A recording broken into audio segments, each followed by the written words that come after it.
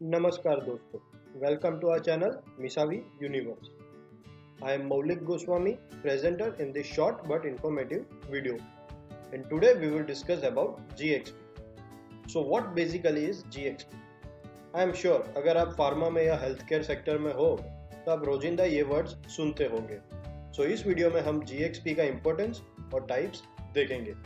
So what is G X P is nothing but guidelines which was established by US FDA जहाँ X stands for particular field, जो हम अभी आगे देखेंगे।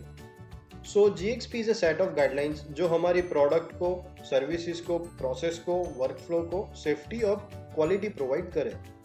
In one line if I have to say then it's a quality guideline of a particular field here X is our particular field और G हो जाता है गुड और पी हो जाता है प्रैक्टिस अब अगर एक्स को मैं मैन्युफैक्चरिंग कह दूँ तो it will become good manufacturing practice this guidelines means वो प्रोसीजर जिसे हमारा मैन्युफैक्चरिंग रिलेटेड रिस्क ज़ीरो हो जाए।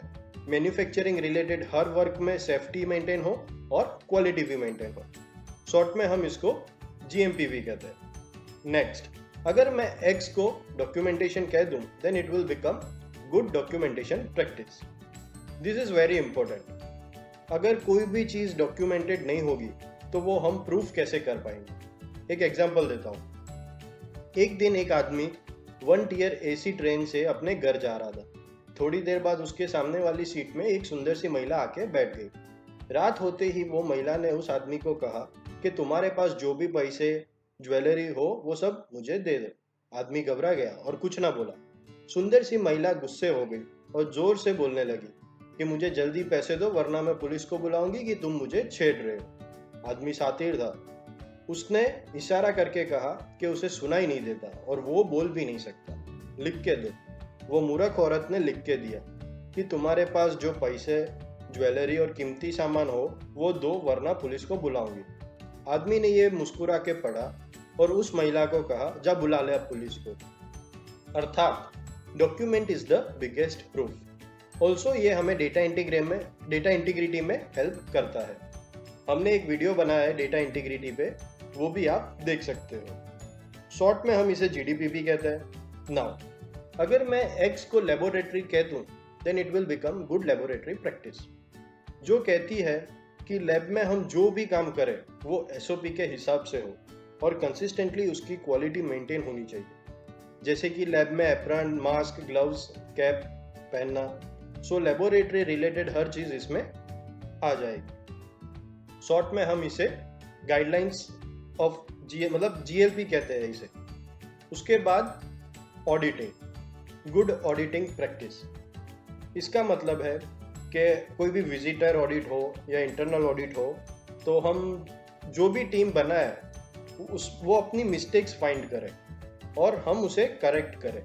ताकि आप अगर फ्यूचर में कोई भी ऑडिट फेस कर रहे हो तो उसे कैसे फेस करना है, उसका एक्सपीरियंस आपको मिल जाए। इसे आप ऑडिट ड्रिल भी कह सकते हो। ऑडिट रिलेटेड गाइडलाइंस गाइडलाइंस को हम कहेंगे गुड ऑडिटिंग प्रैक्टिस उसके बाद clinical as the name suggest human trials जो होते हैं, वो कंप्लीट सेफ्टी के साथ हो।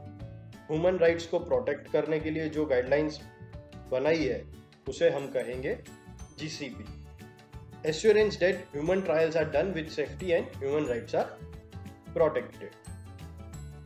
Clinical safety is utmost important इसे हम गुड क्लिनिकल प्रैक्टिस कहेंगे। Next is review good review practice means to consistently review process of manufacturing research of new products हम किस तरह काम कर रहे हैं, कैसे कर रहे हैं एक्सेट्रा सो कंटिन्यूसली हमें अपना काम रिव्यू करना इस गाइडलाइंस को हम कहेंगे G R P so these are different guidelines which we should follow for better health environment so let's practice this to be perfect I hope G X P is clear to you all if you like the work kindly like share and subscribe to our channel जय हिंद